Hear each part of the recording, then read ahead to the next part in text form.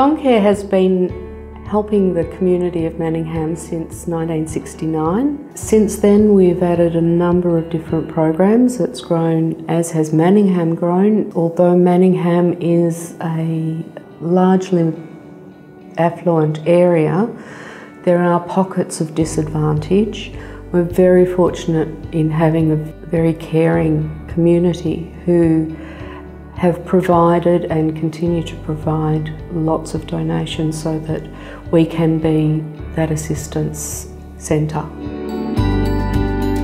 The Social Support for Seniors program is a program whereby we have volunteers who will pick up seniors from their own homes, take them out for lunch, they might go out to an afternoon coffee group, they might, might go to a fixed base group which is Carramar and uh, they have a lot of fun and friendship. I enjoy the friendships I've had over eight years. I like the games, I like the um, craft and I love bingo. A lot of our clients are over 85 they may live in a beautiful house in the, in the green leafy suburbs, but it becomes a prison if they can't get out.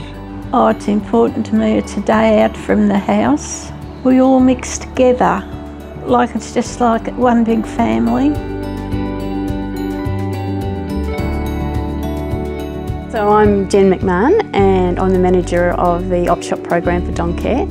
Uh, we have seven op shops. Uh, they raise 43 to 48% of the funding that is required for our programs at Doncare. So we have about 320 volunteers in the op shop program. Um, and lots of people volunteer for different reasons. When I joined Jackson Court, I found there were some wonderful staff people to really enjoy uh, the time with. Uh, we see regular customers. There's one here today. She used to teach my son at Serpell Primary, Dawn, and um, we, we recognise people that come in here regularly and it, it's a good feeling that they keep wanting to come back.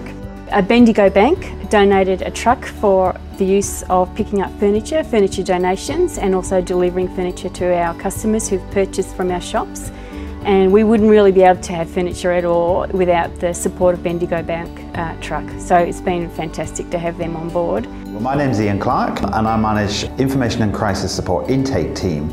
And I'm Janice Scotts and I'm the team leader in the Information and Crisis Support team.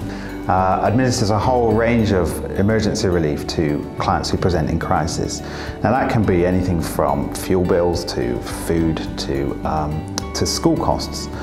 There's two main types of school costs. One is uh, back to school. On a more ongoing basis, there's the uh, Student Wellbeing Joining In program. Uh, we've helped nearly 130 families in the last financial year, and that is to access um, things like going to camp, um, excursions, um, school costs, um, extracurricular activities, um, all sorts of uh, wonderful things that uh, have been able to be provided directly uh, to those children. Hi, I'm Nitika, I'm the Director of Clinical Services at Doncare.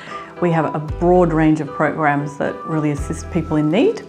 We have a counselling program that's quite comprehensive and caters for adults and for children and youth. So out of that um, counselling field, which is where we really started, it became apparent that there was a need for domestic violence services, and particularly in this area. So our programs go from prevention to postvention, so they actually support people even after they've left a situation. Someone's at risk and they're really um, having a hard time, we have the specialist counselling and intake that can really assess that risk and, and refer as appropriate and put in, pull in other services if they're needed.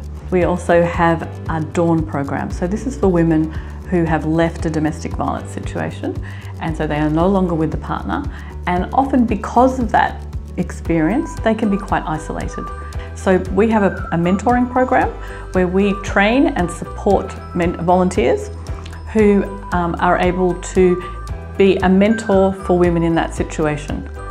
I can see and the Dawn program really provides an opportunity for women to have a supportive ear, a friend who is there solely for you and not for any other purpose but to be your support, your friend in a completely non-judgmental way. Having had women come to Doncare over a number of years saying, I wish I had have known, um, a program was started called iMatter, which is about prevention. So it's about saying, okay, what could we do to prevent these situations from arising? We train 18 to 26 year olds to be leaders. So those leaders then go and, and work with younger people, so high school age students, and um, young people in sporting clubs or in community groups, and share those skills with them. I think iMatter is amazing. Um, I think what it does to you know students in schools, teaching them about consent and healthy relationships, boundaries, um, social media, like all of these issues are so relevant to young people. They don't know how to start having these conversations with their friends or their family. You know, when iMatter comes in and we open that discussion, we start that dialogue, you know, we are starting these students on a journey that they'll go through the rest of their lives. We are very, very grateful to all of the sporting clubs, to the churches, the schools, kindergartens, and the individual Manningham residents. For some people it's their time they give through volunteering, for other people and it's it's some non-perishable goods that we can give out to families that are in need and also Bendigo Bank.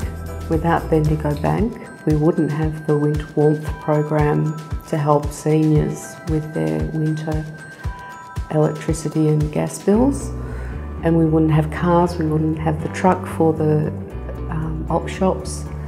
Without Silverstone we wouldn't have an amazing Volvo to drive people to appointments and to the seniors to, to groups. We are the connector. You may be sitting at home thinking, I feel sorry for the family, but I don't know what, what the family is or where the family is. Well, we know that family. We know where they are. That family comes to us and we can pass your generosity onto that family.